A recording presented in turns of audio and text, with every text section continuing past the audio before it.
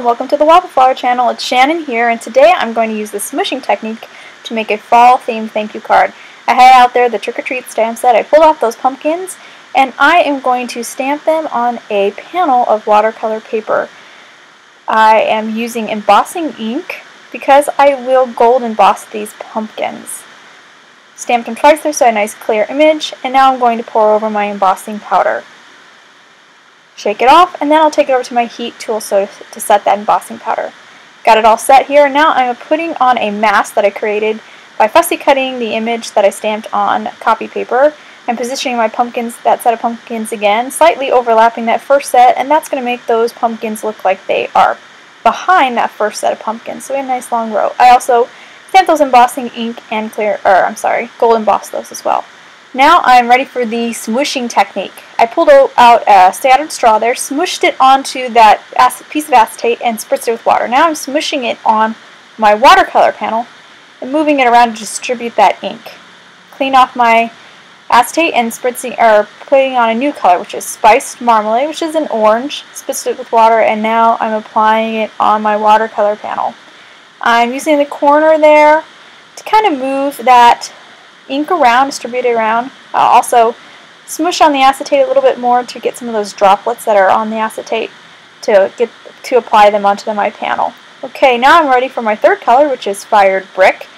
Pushed it on my piece of acetate, spritzed it with water, and now I'm going to smush it onto my panel. Moving it around, moving the acetate around so I can kind of distribute that, that red, that fired brick around. Getting little dots. I, I like this smooshing technique as opposed to, although I like painting with the watercolor brush too, but this is, uh, you get a nice, different kind of look, like a uh, splattered look almost. Okay, I did dry my panel there, and now I'm moving on to my last water, or my last distressed ink, which is Evergreen Bough. I smushed it on my acetate, spritzed it with water, and now I'm applying it over that watercolor panel. Using that corner of the acetate too to kind of move that ink around. It, it's kind of like a finer tip. And you have a little bit more control over where that ink goes. When this evergreen bough color mixes with the yellow and the orange, it kind of creates like a sage green, which I think works nicely into a fall kind of color palette.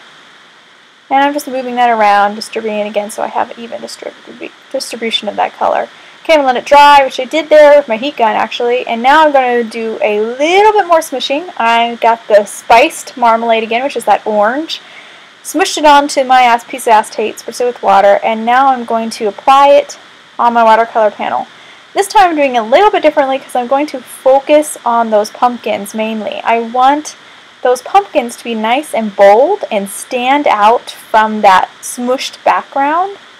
So with this little bit more ink that I'm applying here, they're just going to be a little bit darker and that's going to help them stand out. And again, I'm moving the acetate around and using that corner of the acetate to kind of just move that ink where I want it to go. So I have a little bit more control.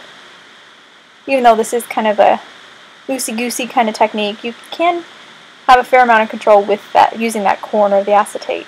Now I'm going to do a little bit more fired brick, which is that red. Spritz it with my water there. And now I'm going to apply it again on those pumpkins. Focusing on those pumpkins there so I can get those nice and bold. I want those to pop from that background.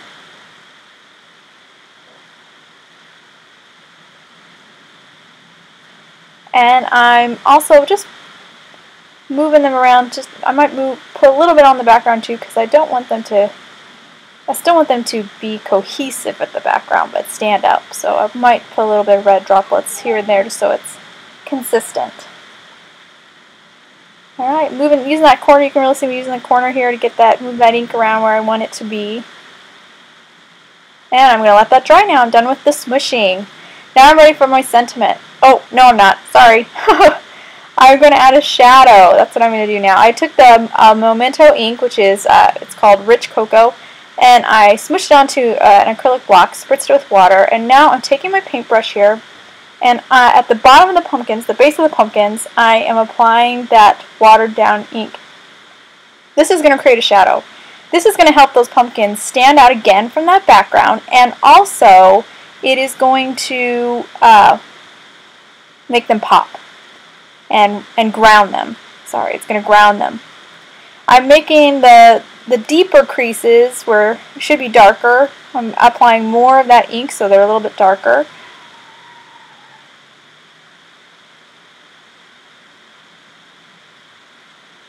And then I'll take a, my brush and kind of thin out the as it as it gets away from the pumpkin base so it it fades and so that shadow it looks more like a shadow. Alright, now I'm going to do my sentiment. Now it's sentiment time.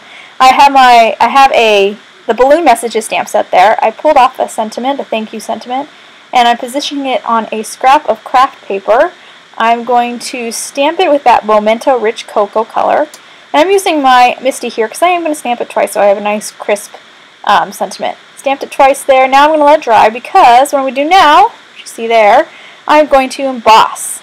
I've got it nice and dry so that my only the embossing powder will stick now where I'm going to stamp now. I actually have that sentiment slightly off from where I stamped it before. So I did move that sentiment. And that way, so a little bit of that brown is poking through. And it's going to look like a shadow. And that's going to help that gold sentiment really pop from on that craft paper because they are kind of like in the same color family and they can kind of blend together. So I stamped in embossing powder and I'm sorry, embossing ink and now I poured on my gold embossing powder and I set it with my heat gun there. Okay, now I'm going to create an accent strip. I've got my little gifts stamp set here and I pulled off that striped bag front and I am going to stamp it repeatedly, or I am, should I say, stamping it repeatedly on this strip of craft paper in that rich cocoa. And this accent strip is going to be on the left side of my card when I put it all together. I dried it really good, now I put some of that anti-static powder on top and I'm going to emboss this as well. I'm also going to offset this and with the, I'm going to stamp this uh, embossing ink image slightly off from the cocoa image. That way you can still see a little bit of that cocoa behind. This is almost like, I'm almost like creating a piece of pat, uh, pattern paper here. But um, the nice thing about creating your own pattern paper is that you know it will match your inks because you use your inks to make it. I do this a lot. I really like having a little accent sometimes especially an accent strip on my cards. Alright, so I stamped all I stamped it with my embossing ink and now I'm going to pour on my gold embossing powder here and then I'm going to shake it off and then I'll hit it with my heat tool. And then comes the fun part. We get to put it all together. Alright, so there are all my three pieces, my accent strip, my sentiment, and my watercolor panel. First I'm going to adhere that accent strip. I'm going to stick it down on the left side of my of a craft card base. Just using some a glue stick there. Stick it down. And then I will adhere my watercolor panel. Now my watercolor panel was cut a little shorter than my card. And that's so that um, you can see that accent strip on the side. You do see pumpkins on the back of this watercolor panel because I stamped them and embossed them and I didn't like the way they look, so I just flipped the panel over and used the other side. Can't waste that watercolor paper. It is expensive. Okay, so I'm pressing it really good here. I want to get all those edges stuck down. I don't want to pop up. The watercolor paper is thick, so really going to work it. Alright, now I got my sentiment. I'm going to use some uh, foam tape snip a couple pieces off here and then I will adhere it to the upper left side of my card. That foam tape is going to get some dimension, just, just make it a little bit more interesting. And once I stick that down here, this card is finished. If you want any more product info, please visit waffleflower.com and find out more about the stamp sets I used. And if you'd like some more creative ideas, follow us on YouTube, Instagram, and Facebook. Have a wonderful day.